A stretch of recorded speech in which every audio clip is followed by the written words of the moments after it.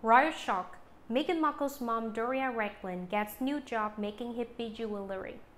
Doria Ragland, mother of Meghan Markle, has got a new job teaching students to make hippie jewelry according to new reports. Meghan joined the royal family in May 2018 when she married Prince Harry at a lavish ceremony. The event was attended by her mother Doria, who at the time was working as a social worker. Doria stepped down from her job at a mental health clinic shortly after the wedding. During earlier life, she helped supplement her finances by selling homemade jewelry. According to the Daily Mail, Doria will be putting these skills to good use in her new job teaching students how to make jewelry at a community college. The paper reports she will give instruction on making multi-strand bracelets wire-linked necklaces and pearl necklaces at Santa Monica College.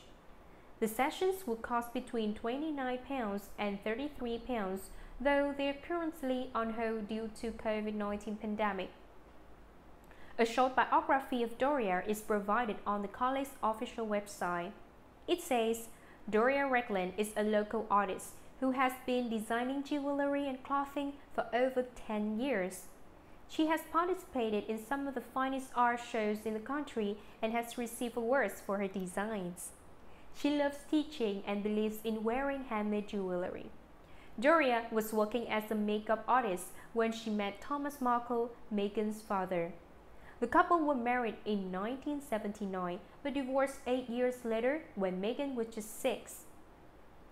Thomas was unable to attend his daughter's wedding due to illness and instead Prince Charles escorted Meghan down the aisle. He was so also forced to apologize after admitting to staging paparazzi photos ahead of the wedding.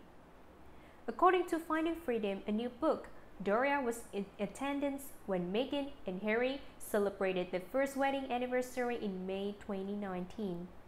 The event took place just days after Meghan gave birth to the couple's son, Archie Mountbatten Windsor. The co-authors, Carolyn Durand and Omid Scobie, wrote, On the anniversary of their first year of marriage, Harry and Meghan enjoyed a traditional Sunday lunch with Doria, her last meal before traveling back to LA. Her five weeks at Frogmore had flown by, but she had to get back to work. Harry gifted Meghan an eternity ring to help celebrate the occasion. In January of this year, Meghan and Harry shocked the world by announcing the intention to stand down as senior members of the royal family.